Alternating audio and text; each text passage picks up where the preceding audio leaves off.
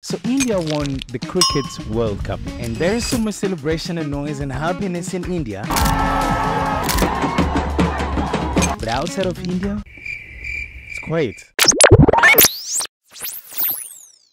When you're scrolling on Instagram, there is no sign there was a World Cup somewhere if it's not a page from India reminding you about that. And even those pages from India itself, it's kind of faded so quickly. Let's not speak about football. When there is a World Cup, it's like you must know about it. Doesn't matter where you are in the world. But a whole World Cup is growing, and a big country like India literally wins the World Cup, and nobody knows about it outside of India. Why? Is it because of India or is it because of cricket? First of all, I congratulate India for that victory. We have been so much captivated in a world in which we must always blame someone for something which didn't go as we wish it went. And one of those cases is this case of how cricket couldn't be as famous outside, especially for my case is how the victory of India couldn't go as viral as other things which I was expecting. The reason why I do not want to blame someone is because I have noticed one pattern which usually repeats itself most of the times when there is something good, especially which happens in countries which are not kind of the headlines of the world when it comes to good things. I remember the time in which India successfully landed on the moon. It was so viral in India. Outside of India, it still had the image of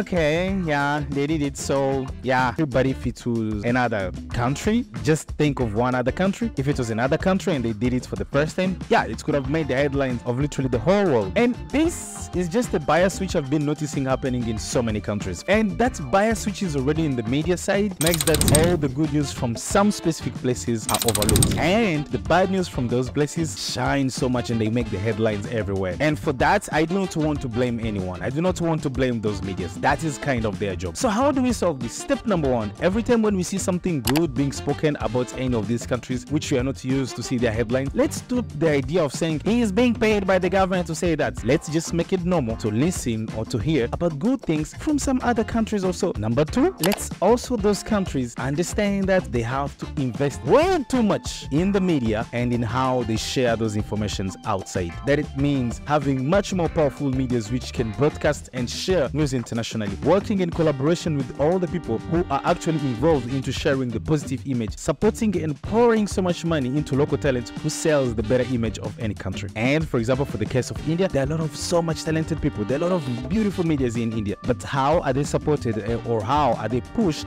into creating a better image of India outside of India and not creating news or media only for Indians? After seeing how Indians were happy, I felt like I think the whole world should have shared this happiness or should have seen how these people are actually enjoying this moment. Thank you so much for being here. Catch you next time.